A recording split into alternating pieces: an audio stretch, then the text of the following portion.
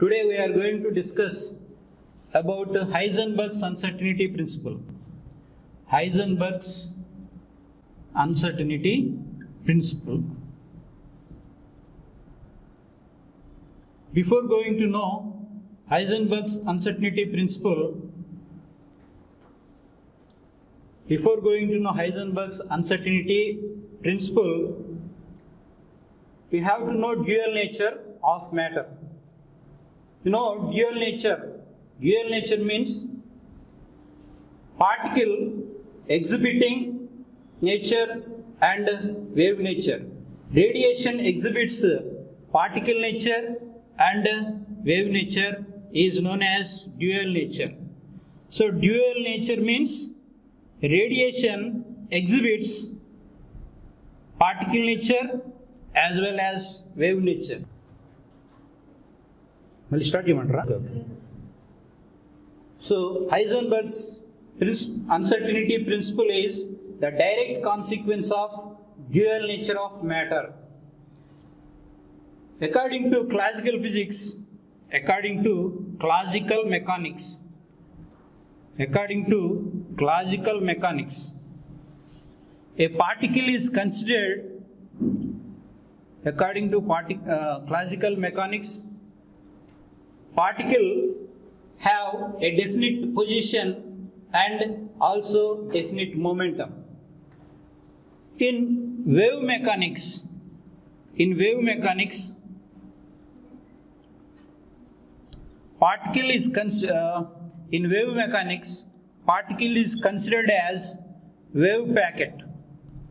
A wave packet consists of two or more than two waves having slightly different frequencies. If the wave packet is small if it is if the wave packet is small we can look at the position of the particle. When the particles spread out through the space then it is then there is indeterminate in position in velocity if the particle is large if the particle is large then it is you can determine the velocity the velocity can be fixed but there is uncertainty in the position of the particle. Okay, so when wave packet is small, you can fix the position of the particle, but there is indefiniteness in the velocity. If the wave packet is large, there is you can fix the velocity, but there is indefiniteness, uncertainty in the velocity or momentum. This by this we can say, or according to pro, uh, uh, according to Born's probability interpretation, there is a definite probability of finding the particle in the space. This is uh, the introduction of Heisenberg's uncertainty principle. That means if there is uh, certainty in the location of the position of the particle, uncertainty in its momentum.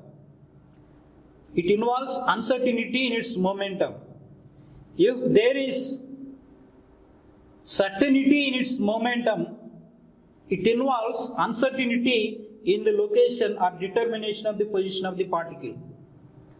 So, by this is the introduction for the Heisenberg's uncertainty principle.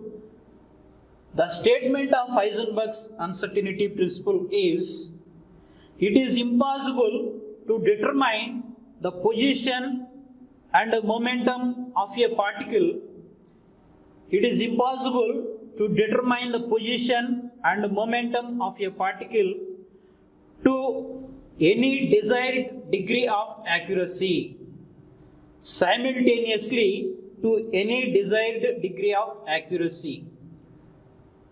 Again, I am repeating the statement of Heisenberg's uncertainty principle it is impossible to measure the position and momentum of a particle simultaneously to any desired degree of accuracy. Qualitatively, this statement represents the order of uncertainties in the product of two physical variables is at least Planck's constant. That means it can be written as mathematically the statement can be written as two physical variables. The product of two physical variables is at least Planck's constant. Is at least Planck's constant identically equal to h. Here delta x is the uncertainty in the position, delta px is the uncertainty in momentum. So the product of these two is identically equal to h. And another two physical variables delta E and delta T. So here delta E is the uncertainty in energy, delta T is the uncertainty in time. These two product of these two variables is identically equal to h and another two physical variables are delta j and delta theta. Delta j into delta theta is identical equal to h. In this third case, this is equation 1, equation 2 and equation 3. In equation 3, delta J is the angular momentum and delta theta is the uncertainty in angle. Okay, so this is uh, the mathematical form of Heisenberg's uncertainty principle. And exact statement for Heisenberg's uncertainty principle, the product of these two variables, the product of these two variables can never smaller than h by 4 pi. So that must also can be written delta x into delta px is always greater than or equal to h by 4 pi and delta e into delta t is always equal to greater than or equal to h by 4 pi and delta j delta theta is always greater than or equal to h by 4 pi. This is the exact statement of Heisenberg's uncertainty principle. What is that? The product of two variables can never smaller than the h by 4 pi. That means it is always the product of these two physical variables always greater than h by 4 pi or equal to h by 4 pi. So now this is about Heisenberg's uncertainty principle. First statement and mathematical form and exact form of the Heisenberg's uncertainty principle. Now derive uncertainty in energy and time. The principle of uncertainty, uncertainty in energy and time. Uncertainty in energy and time. Consider a free particle of mass m naught and it is moving along the x-axis with velocity vx then the kinetic energy E is equal to if a particle consider a particle of mass m naught and it is moving along x-axis with velocity v. So Vx, the kinetic energy is given by E is equal to half mv square. Half mv square. Here m is the rest mass, so m naught. V is along x-axis, so V suffix x. This is equal to half m naught square Vx square by 2 by m naught by m naught. This equation is multiplied and divided by m naught then we, we get m naught square vx square by 2 m naught. m square v square is p square so this is along x axis so px square by 2 m naught. So E is equal to p x square by 2 m naught. This is equation 1. where delta E and delta Px, where delta E and delta P are the uncertainties in energy and momentum, then differentiating equation 1, differentiating equation 1. Then we get delta E, dE is written as delta E. P square differentiation of p square is 2px dx delta x by 2 m naught. Here 2 2 is cancelled and px into delta x is equal to 2 uh, m naught into delta e. m naught into delta e. Delta x is equal to delta x is equal to m naught by px m naught by px into delta e. Here p is the momentum so m naught by m naught into vx into delta e so m naught m naught is cancelled 1 by vx into delta e is equal to 1 by Vx into delta E. This is equation 2. Delta x is equal to Vx into delta t. So you know the distance formula distance is equal to velocity into time. Velocity along x-axis so Vx into uncertainty in time is delta t. This is equation number 3. From equation 2 and 3, from equations 2 and 3, multiply left sides and uh, is equal to multiply both right side. Delta x into delta px is equal to 1 by v, vx 1 by vx into delta e into Vx into delta t. So Vx Vx is cancelled delta E into delta t. We know that delta x into delta px is identically equal to h. Here in this equation delta x into delta px is equal to delta E into delta t. So we can therefore we can write delta E into delta T is identically equal to H. Here we are uh, prove that the product of uncertainty in energy and uncertainty in time is identically equal to H by using uncertainty in position and momentum.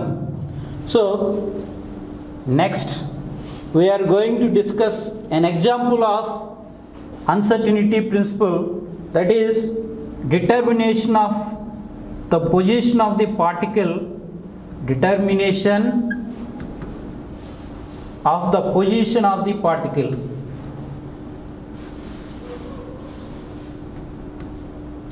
Position of particle by gamma ray microscope.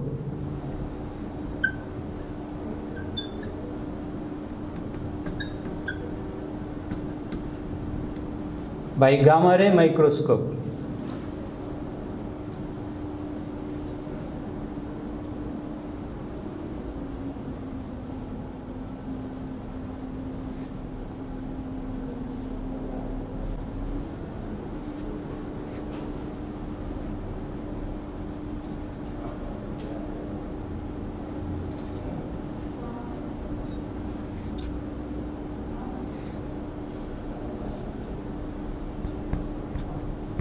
This is the gamma ray microscope.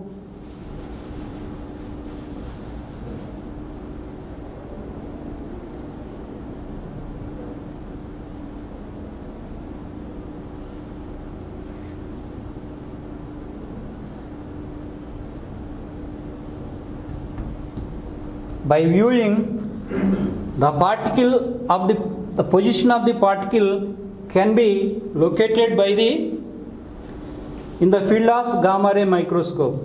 Here the position of the particle in the field of gamma ray microscope. The resolving power of the microscope is given by by using Bragg's law 2d sin theta is equal to n lambda. 2d sin theta is equal to n lambda. Here d is the distance. That means the distance between the two particles or the uncertainty in position of the particle is identically equal to n is equal to 1 lambda by 2 sin theta this is equation number 1 here delta x is the resolving power of the microscope.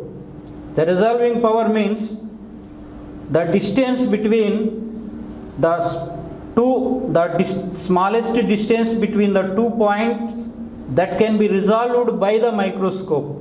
Delta x is identically equal to lambda by 2 sin theta. This is equation number 1. In order to observe the electron, a photon must strike the electron here the photon is moving and here is the electron it strikes the electron and photon enter in, enters into the field of gamma ray microscope here the momentum initial momentum p the component x the comp- x component of momentum is px is in the angle 2 theta anywhere in the field of gamma ray microscope. So here momentum is conserved delta px is identically equal to p sin theta minus of minus p sin theta p sin theta minus of minus plus 2p sin theta Here P is the momentum, P is equal to h by lambda. You know de Broglie wavelength, de Broglie wavelength, lambda is equal to h by P. From that P is equal to h by lambda. Here P is equal to h by lambda, so 2 h by lambda sine theta. This is equation number 2. By using equations 1 and 2, delta x into delta px delta x into delta px is identically equal to lambda by 2 sin theta into 2h by lambda sin theta. Lambda lambda is cancelled. 2 sin theta 2 sin theta is cancelled. And uh, h remained h remains so delta x into delta px is identically equal to h. This is the heisenberg's uncertainty principle that states that the product of uncertainty in its position and momentum is identically equal to Planck's constant h. Thanks to everyone.